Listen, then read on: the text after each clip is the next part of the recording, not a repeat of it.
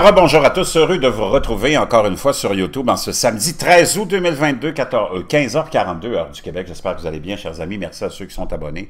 Ceux qui ne sont pas, restez avec nous, puis abonnez-vous maintenant. Merci à tous ceux qui m'envoient des messages et des liens, c'est vraiment apprécié. Vous avez vu la tempête infernale déclenchée par le, la descente, hein, le raid, euh, même si on ne veut pas appeler ça du côté des démocrates et du gouvernement Biden une descente, ben c'était une descente en règle chez Donald Trump, l'ancien président des États-Unis, quelque chose d'inusité, ça s'est jamais vu, pour des pseudo-documents qui seraient classifiés, qu'il aurait en sa possession, selon des sources. Mais selon d'autres sources, on apprend aussi que Donald Trump et son équipe collaboraient avec le ministère euh, en question des archives et euh, autres qui sont impliqués et collaboraient dans... Parce que chaque président part avec plein de documents, c'est toujours comme ça. Il y en a même comme Bill Clinton qui partait avec des meubles. Mais après ça, on s'entend on comprend que tel document doit peut-être retourner aux archives et ainsi de suite. Et on le fait de, des fois par voie de subpoena ou par d'autres voies.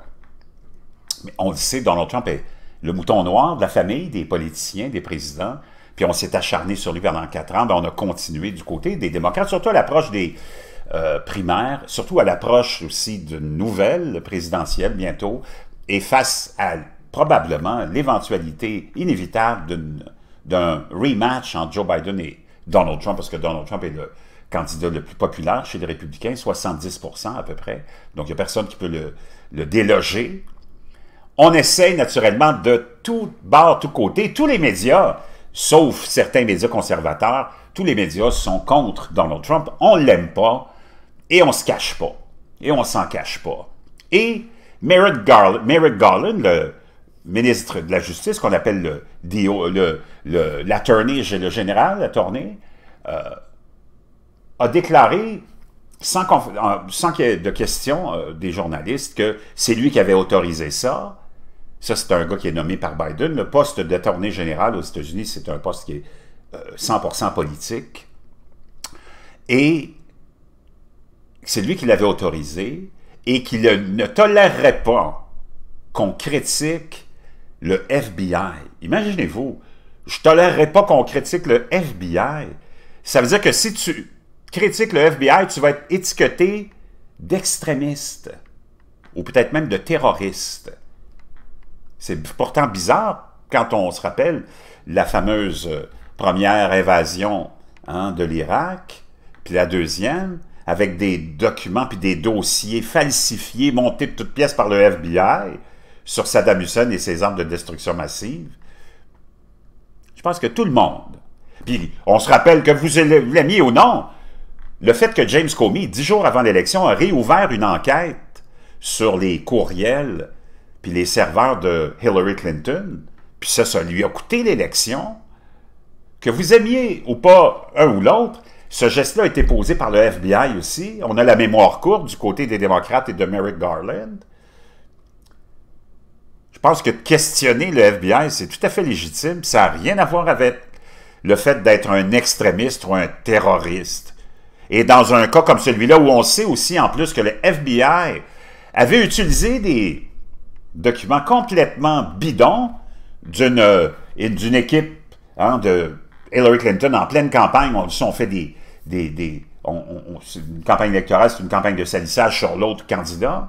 On avait monté un dossier de toutes pièces, naturellement, pour essayer de convaincre les Américains que Donald Trump était un agent euh, privé ou secret des Russes et de Vladimir Poutine, avec le fameux dossier Steele qui a empoisonné toute sa présidence pendant quatre ans, c'était devenu étourdissant, euh, cette histoire-là, et ça donnait des, mots de cœur, tellement on n'arrêtait pas de parler de ça. Puis c'était fabriqué de toutes pièces. Puis le FBI était allé chercher des mandats d'écoute électronique basés sur des mensonges et un dossier mensonger. Donc, je pense que c'est tout à fait légitime de questionner euh, le FBI, la CIA et toute agence de renseignement sur lesquels tu ne peux pas faire confiance, sont là pour espionner les citoyens. Voyons donc, c'est complètement démagogue de sa part, et ça te démontre à quel point on déteste l'individu Donald Trump et qu'il y a deux poids, deux mesures. Je pense que tout le monde est complètement convaincu de ça. Que tu l'aimes ou pas, c'est pas vraiment important. C'est pas ça la question. La question, c'est d'être de réaliser puis d'admettre qu'il y a deux poids, deux mesures partout.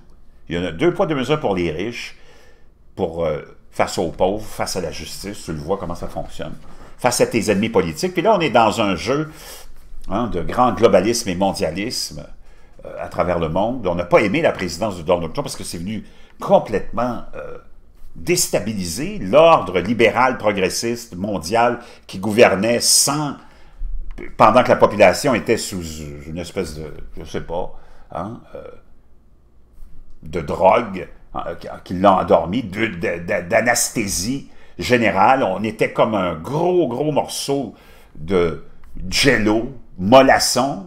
Donald Trump est arrivé, s'est fait élire et ça a comme, paf! C'est comme échapper un morceau de jello par terre. Tu as vu le dégât que ça fait? Et ça a réveillé beaucoup de monde qui se sont dit, sans être des pro-Trump, wow! On s'est fait avoir pendant des décennies par des politiciens qui avaient une petite poudre de perlin-pimpin pour nous endormir. Et le plus grand des endormiteurs ou endormiteurs de cette bande-là, c'était Barack Obama. Ça a été le champion pour endormir la population et les médias. Imaginez le genre de questions que, que Barack Obama avait affronté dans des conférences de presse, c'est « Monsieur le Président, quelle est votre crème glacée préférée, votre chanson préférée, votre film préféré, alors que le monde était à feu et à sang? » C'était toujours une partie de plaisir, alors que Donald Trump était sous le feu de barricades, de questions, de barrages de questions et d'attaques, toujours et toujours et toujours. Donc, tu vois, il y a deux poids, deux mesures. On n'a pas aimé Donald Trump. Tu peux ne pas aimer ses tweets, ne pas aimer son comportement, ou peu importe, mais le gars, il a fait un job, puis ça a l'air qu'il y a beaucoup d'Américains qui l'ont aimé. 78 millions de gens ont revoté pour lui, alors qu'il y en avait une cinquantaine de millions qui avaient voté pour lui la première fois. Barack Obama a eu 55 millions de votes à chaque élection. Donald Trump en a eu 78 à sa deuxième euh, campagne électorale. Donc, que tu l'aimes ou pas, le gars, il a fait un job, puis ça a l'air que les Américains n'ont pas détesté. Puis à travers le monde, il y a du monde qui ont des gens qui ont des populations qui ont aimé ça aussi, voir quelqu'un à la défense de la classe ouvrière, parce que dans le fond, c'est ça que Donald Trump a fait, était à la défense de la classe ouvrière, a attaqué les médias sans cesse parce que c'est des médias corporatistes qui ont un seul et unique but, c'est de promouvoir l'agenda mondial.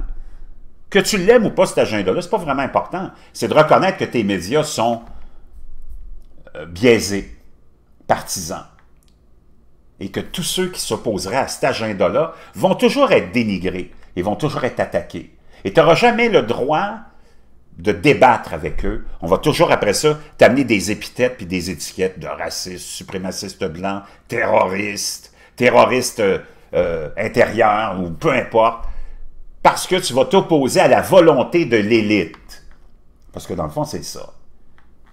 tu vas t'opposer à la, volonté de l'élite. Maintenant, qu'est-ce qui a démarré? On sait qu'est-ce qui a démarré les, écoutes électroniques sur Carter Page, à l'époque, un proche de Donald Trump, et sur Donald Trump aussi, ça, dans la Trump Tower, on sait qu'il avait, il avait été mis sous écoute. C'était des mensonges sur lesquels le FBI était allé devant des juges pour avoir des mandats d'écoute électronique. Et les juges les ont donnés. De bonne foi, probablement. Il faut leur donner le bénéfice du doute. Maintenant, la descente qu'il y a eu a été initiée aussi par des médias. C'était des médias qui avaient envoyé ce dossier-là. Hein? Et l'avaient envoyé au FBI. Parce qu'on avait remis ce dossier-là à des médias. Ben, imaginez-vous que Maggie Haberman, qui est une euh, columniste du euh, New York Times, je pense, hein, qui va sortir, euh, qui sortait un livre, eh bien, c'est elle, hein, Maggie euh, Haberman, qui, avec des photos, on ne sait même pas si c'est vraiment véridique, de supposées toilettes dans lesquelles Donald Trump aurait déchiqueté des documents Hein, incriminant peut-être, puis les aurait flochés dans les toilettes. Regarde le, je sais pas si tu regardes le genre de toilette, là, mais ça n'a pas l'air d'être une toilette de quelqu'un qui est multimilliardaire, milliardaire, là. Ça a l'air d'être des toilettes, là, ça, regarde-moi le contour ici, puis le plancher, ça a l'air vraiment complètement des toilettes bidons, vraiment, regarde le siège des toilettes, là. Et ça, c'est Maggie Haberman, qui, qui, rapporté par Axios, qui nous dit que le prochain livre de Maggie Haberman sur l'ancien président Trump rapportera que le personnel de résidence de la Maison-Blanche a périodiquement trouvé des liasses de papier obstruant les toilettes et croyait que l'ancien président, un destructeur notoire des documents du bureau ovale, était le tireur d'eau. C'est lui qui tirait la chasse d'eau. Trump l'a nié, a qualifié Haberman, dont il suit compulsivement la couverture du New York Times, d'astico. Eh bien, il s'avère qu'il y a des photos, et les voici publiées pour la première fois, mais des, photos de toilettes, franchement, et ça, ça a été publié la semaine dernière, juste un peu avant le fameux raid ou la fameuse descente. Donc, c'est ce qui aurait peut-être initié la volonté, l'excuse pour aller faire une descente chez Donald Trump à Mar-a-Lago. Wow! Incroyable, peut-être pour faire la publicité pour son livre. Hein? Les nouvelles preuves rappellent que malgré le flot de livres de Trump, celui de Haberman est très attendu dans le Trump world. Wow! Et les sources, toujours des sources anonymes de Mme Haberman, rapportent que les décharges de documents se sont produites plusieurs fois à la Maison-Blanche et lors d'au moins deux voyages à l'étranger. Le fait que Trump jetait des documents de cette manière n'était pas largement connu au sein de l'aile ouest, mais certains assistants étaient au courant de l'habitude qu'il a prise à plusieurs reprises, nous dit Haberman. C'était une extension de l'habitude de Trump de déchirer des documents censés être conservés en vertu de la loi sur les archives présidentielles. Vois-tu, on parle des archives, puis c'est là-dessus qu'on a aussi assis le, le fait qu'on demandait à un juge d'aller faire cette descente-là. Wow! Incroyable! Moi, j'en reviens pas. Comment on peut s'acharner, puis comment on peut se fier à des... Vraiment, c'est plus que bidon, là mais ça ressemble à un bidet. C'est peut-être changer l'expression pour c'est vraiment bidon pour c'est vraiment bidet, Madame Haberman. Je ne sais pas ce que vous en pensez, mais il fallait que je vous partage ça.